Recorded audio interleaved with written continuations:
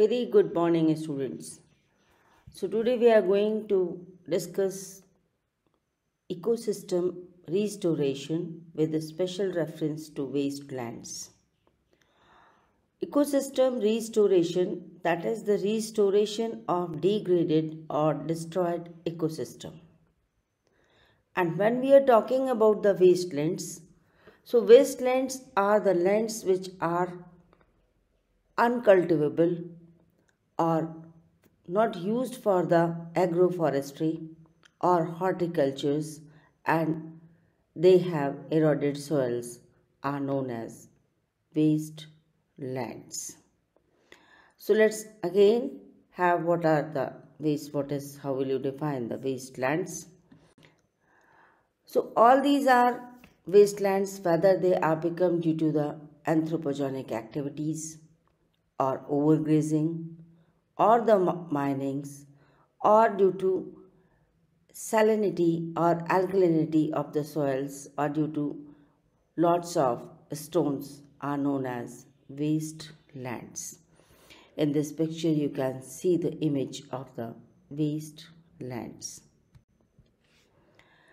Now how these wastelands being created?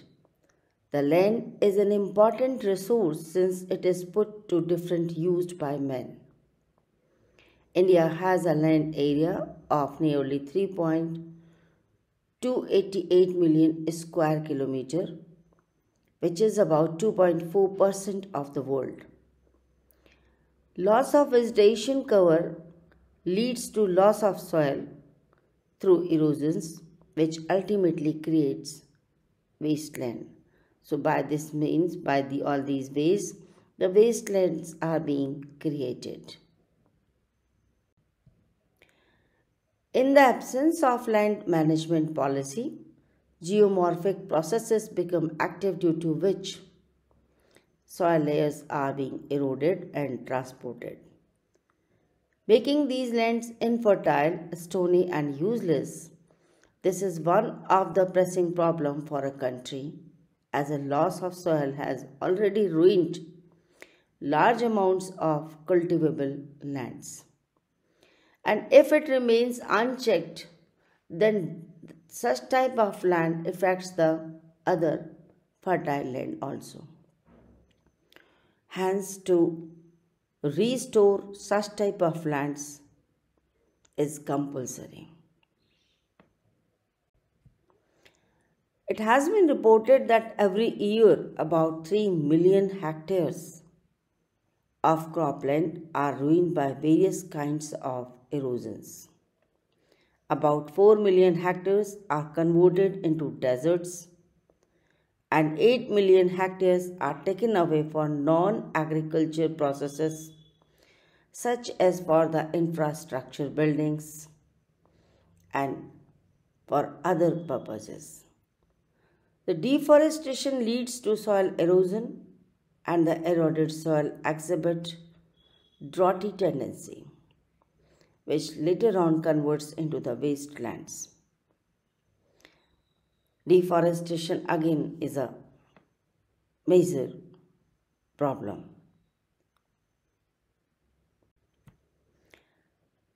There are two types of wastelands in this universe one is unculturable wastelands, the lands which cannot and never be developed into the cultivable lands because such lands are being covered by the snow or you may call them the glaciers. The second is cultivable wastelands. These lands are cultivated but due to any reasons not in use more than 5 years are also termed as wastelands. It consists of lands available for cultivation but not used in agriculture. Right? So, agricultural purposes because they can be reclaimed through conservational methods for cultivation, grazing, and for agroforestry. Rajasthan have maximum area of wastelands. As it has desert, Even then, many anthropogenic activities are there. And they are also doing some deforestation. Overgrazing mining is also again a greater problem to create waste lands.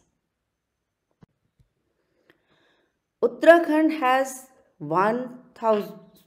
16,097 square kilometer wasteland.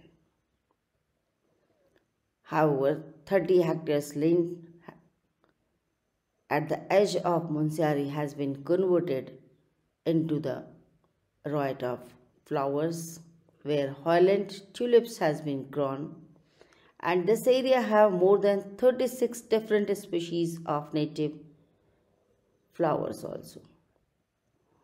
Some amount of the land by a ex-soldier Mr. Jagjit Singh Chaudhary has been converted into a dense forest. The another example of restoration of degraded or the wastelands is the biodiversity park at Yamuna Bank. Is a good example of the wasteland restoration. There are different ways to convert the wasteland into the usable or the cultivable lands. So, eight ways of wasteland reclamations are afforestation, reforestation to provide a surface area, mulching, changing ground topography on downhills, leaching, changing agricultural practices and ecological successions are the methods which can convert a wasteland into a cultivable lands.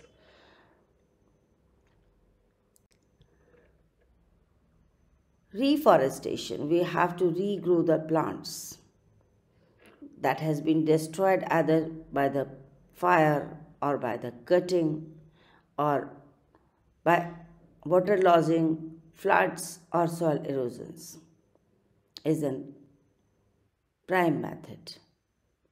And the another method is providing surface area. That is the easiest way to protect the land surface from soil erosions.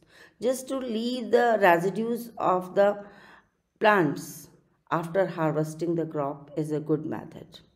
And it is the common method very common method adopted by the indian farmers.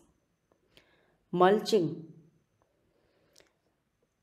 it is also a protective cover of organic matter and plants like stalks of cotton tobacco and mustards they are leave behind after harvesting on the land because they have a good holding capacity of the soil and they protect it from soil erosion. Leaching the land which is being salt affected or the alkaline or they have the salinity can be minimized by leaching them with more water lodging.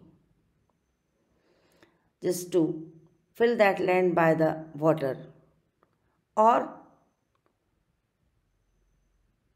by providing some chemicals is a method just, just like gypsum and another uh, chemicals compounds they can convert such type of lands into the cultivable. The next method is changing agricultural practices. The farmers can adopt the mixed cropping. Just in this picture you are just watching it, it this is the land being having mixed cropping banana and other trees are also there. Because each and every plant have their another capacities and the requirements from the lands and such type of mixed cropping can convert the wasteland into the cultivable and the last option is ecological succession this refers to the natural development or redevelopment of an ecosystem which helps in reclaiming the minerally deficient soil of the waste lands. These are the pictures showing the leaching methods. just to uh, put down some salts or some plastics to stop the water or soil erosion. The another that is changing ground topography on downhills. And this is the common method adopted in Uttarakhand. Running water erodes the soil, hill soil and carries the soil along with it. This can be minimized by following the alteration in ground topography, just as strip farming and contour plowing, that is round around the hill area, or we can make out the steps. An ecological succession, this refers natural development and or you may call the redevelopment. In this picture, last one you are just watching, just to convert a barren land into a lush green forest that is ecological succession, whether by growing the grasses or the moss or the shrubs or the tree. Depends on the topography of the land. The wasteland includes the following categories of land in India. The land not available for cultivation, that is totally barren and uncultivable wasteland. The other uncultivated and excluding fallow, that is cultivable waste, permanent pasture and land under miscellaneous trees. Fallow lands, that is also a land which is totally, we used to call it in the usar, not cultivable have the many stones or the alkalinity or the salinity and it take time to convert it into a cultivable lands.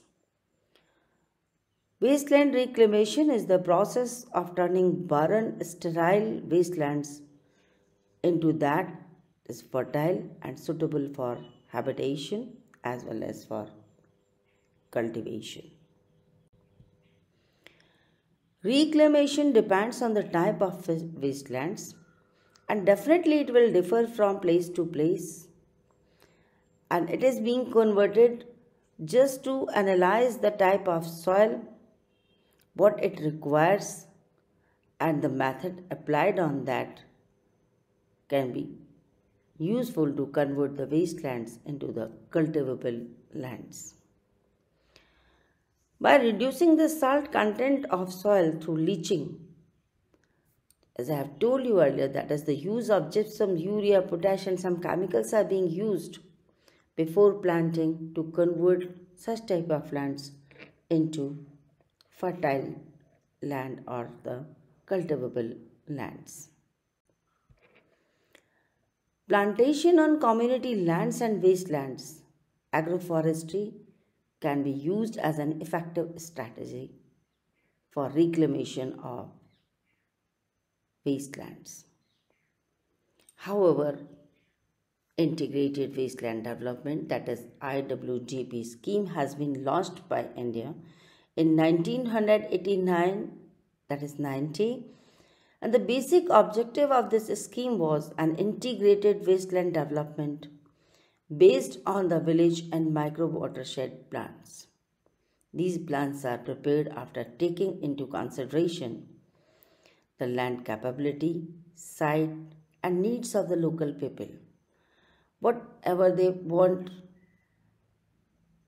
to grow in such type of lands they, and their needs such as they want to grow the fodders for the animals or the need some um, uh, grain crops for um, the or the whatever they need the vegetables. So for, for uh, looking at the need they um, such type of lands is being converted into the cultivable lands. The major activities taken for the schemes are in situ soil and moisture conservation measures terracing bunding trenching vegetative barriers, and drainage line treatment. Planting and sowing of multi-purpose trees, shrubs, grasses, legumes, and pasture land development. All these are the schemes being carried out under this integrated management of wasteland scheme. encouraging natural generations, promotion of agroforestry and horticulture, wood substitution and fuel wood conservation measures. That is the prime task of this scheme, just to rehabilitate the peoples who are living in the forest for their livelihoods. Awareness, training and extension, again a major task for this under this scheme. Encouraging people's participation through community, organization and capacity building.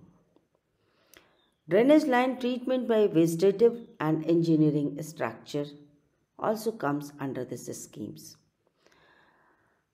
So dear students, these are the major activities our government is taking to convert the wastelands into the cultivable lands. So that's all about the restoration of wastelands. How can it be converted into a fertile soil? Thank you.